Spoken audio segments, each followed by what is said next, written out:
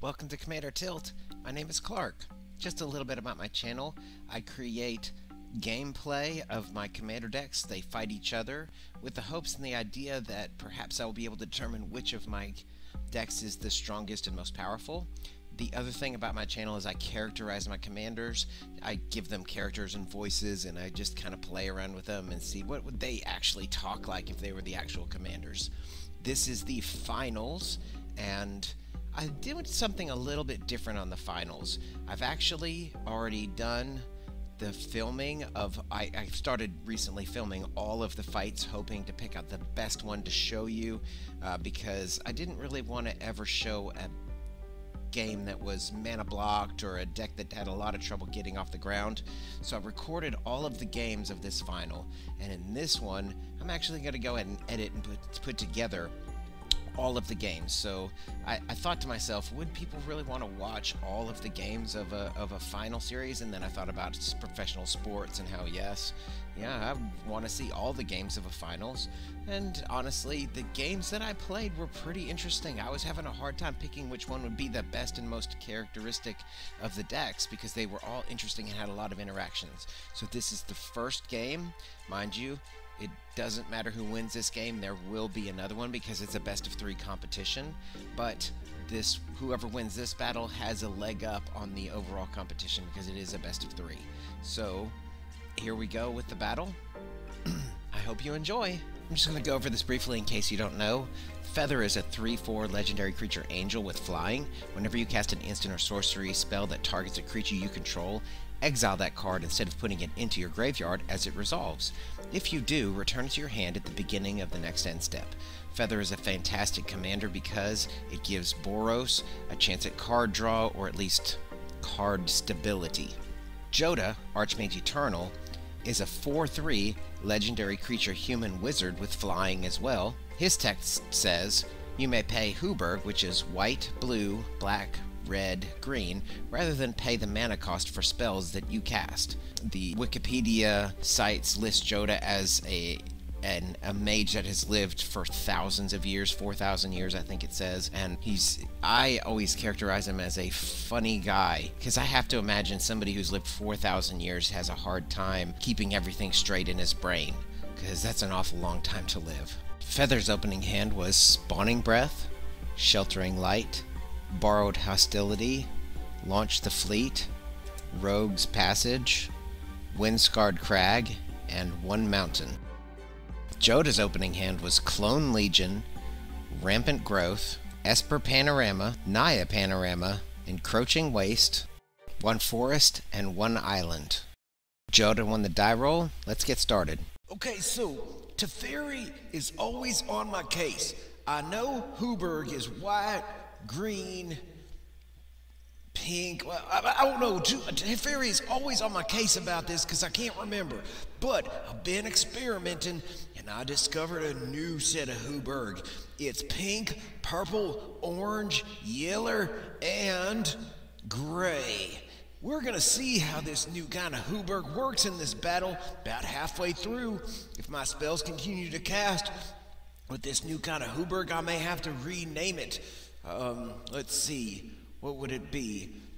Pink, purple, orange, yellow, gray, popo, oh, yug.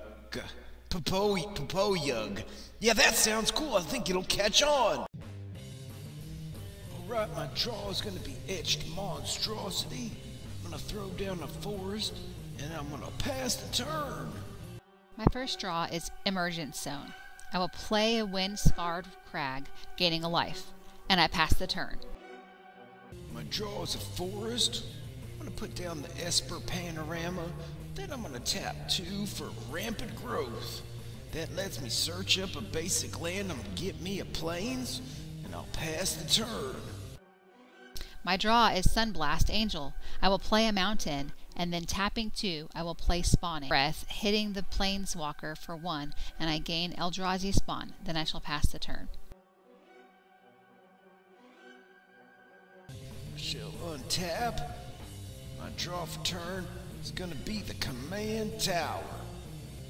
Next, throw down the Naya Panorama, Love the view of this one. Then I'm gonna tap two mana, sacrifice both of the panoramas, fetching up two more lands. I'll get a mountain off the Naya and an island. No, I'm kidding. I'm gonna get a swamp off the Esper. Then I'll pass the turn. My draw is Boros Signet. I will play Emergence Zone as my land drop. I will tap 2 mana for the Boros Signet. Then I will sacrifice the Eldrazi spawn to activate the Boros Signet. Tapping the Wind Scarred Crag for white, I have enough mana to play Feather the Redeemed! Then I will pass the turn. Okay, I'm gonna untap. My draw for turn is gonna be a Tranquil Thicket. Next, I'm gonna put down an island. That gives me Jeskai and one for Jodah. Cycle that Tranquil Thicket and I get Blatant Thievery. That spell is epic. Passing the turn. My draw will be Open the Armory. I will put down Rogue's Passage as my land drop. Then I will tap one white for Launch the Fleets. Two arms! Two arms! Feather will attack with the soldier I just recruited.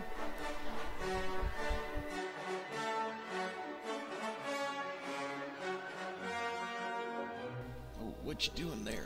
I will cast Borrowed Hostility, selecting to pump Feather plus 3 plus Well, 0. I, I guess I'm gonna put Jodah in front of that soldier and take it out. Feather hits for 6 commander damage, and I will pass the turn.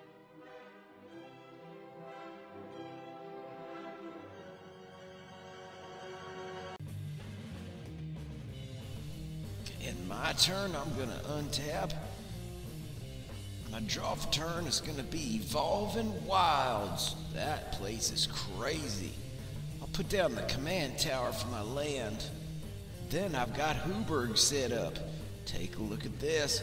I'm gonna cast me Blatant Thievery. Feather Girl, you better come on over here or to my side of the battlefield. Yeah, we get along great, don't we?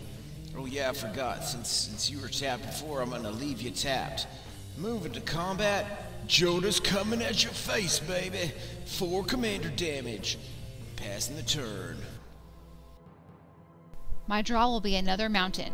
I will tap 6 for Sunblast Angel, destroying all tapped creatures. Guess I'm heading back to my man cave. Then I pass the turn. First I'll untap. My draw for turn is Ezuri's Predation. I think I got me enough mana now after dropping this forest to go ahead and cast Jodah.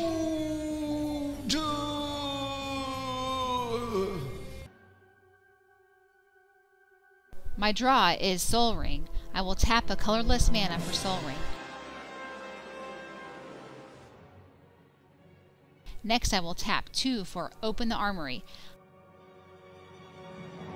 I search out Sunforger and put it in my hand.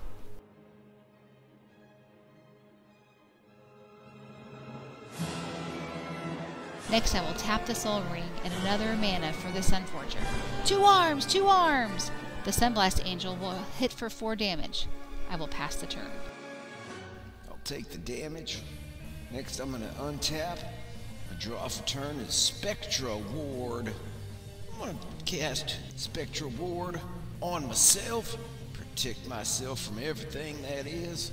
Next, I'll go ahead and sacrifice that Evolving Wilds and fetch me up a swamp. Moving to combat, I'll swing with Jodah at your face. First, I will untap. My draw is Maximize Velocity.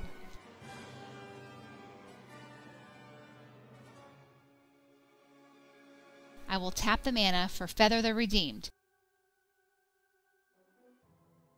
Then I will pay for Maximize Velocity, giving Feather haste and plus one plus one. Two arms, two arms!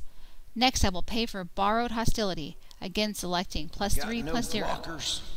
Feather and Sunblast Angel hit for 11 total damage, including 7 commander damage. First, I'll untap. Hmm.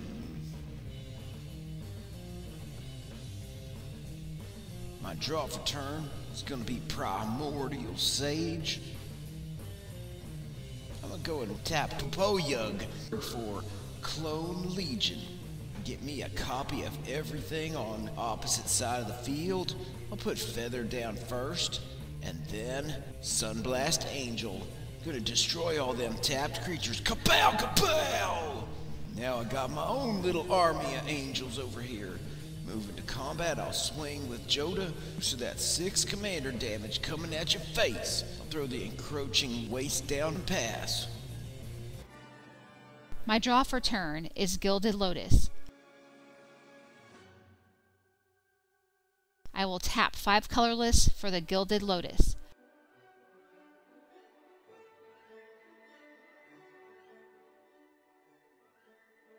I have six mana open, but Feather costs seven, so I pass the turn. Okay, first I'm gonna untap. My draw for turn is gonna be Fork in the Road. Who would leave a fork in the road? I'm not really all that sure, but I'll cast that spell.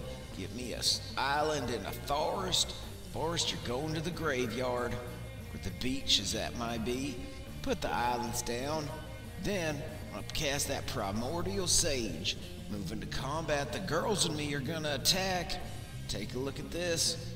Six more commander damage on top of the 16 is a total of 22 commander damage, and victory is mine! There you have it. The first game is in the books, and Jodah has taken the first victory. I have to admit, I, I, I being human, I make mistakes occasionally. When I first recorded this video, I forgot Spectra Ward adds plus two plus two. I just in my head thought it was a protection spell. So I was calculating the commander damage at 4 instead of 6. And what happened was, Jodah kept attacking and attacking, but the accrued damage didn't add up to the 22, and so Feather had one more turn, and in the next turn, Feather won because I was able to cast Feather attached Sunforger, I was able to hit for lethal commander damage. But when I went to editing, I realized I'd made the mistake with Spectra Ward, so I went back and changed all the totals and realized that Feather didn't get her last turn, that Jodah had already won with commander damage. So just goes to show you that how difficult commander is to play sometimes because there is just so many different variables hitting at all times. So now we move on to the second battle. We'll see who wins that one. If Jodah wins again, there won't even be a third battle. But if Feather wins, you'll see a third battle. So I sure hope you enjoyed the video today. Thank you so much for watching. There has been thus far nobody join my Patreon page, and I sure hope to change that soon. Thank you so much. Remember to like and subscribe. Three planeswalkers were walking down the beach. It was Nissa, Rowan, Kenrith, and Chandra. They're riding through the desert, and about two hours later, their vehicle dies with no gas, and they're forced to travel uh, to their destination on foot. Now, they're planeswalkers. I know it doesn't make any sense, but whatever, they decided to walk, and they all agreed to carry something. Nissa says, I'm gonna bring the canteens of water. Chandra says, I'm gonna take this large beach umbrella. Rowan, who's a blonde, she somehow rips off the car door. And Chandra says, Hey, why did you take that whole car door? To which Rowan replies, So I can roll down the window in case it gets too hot.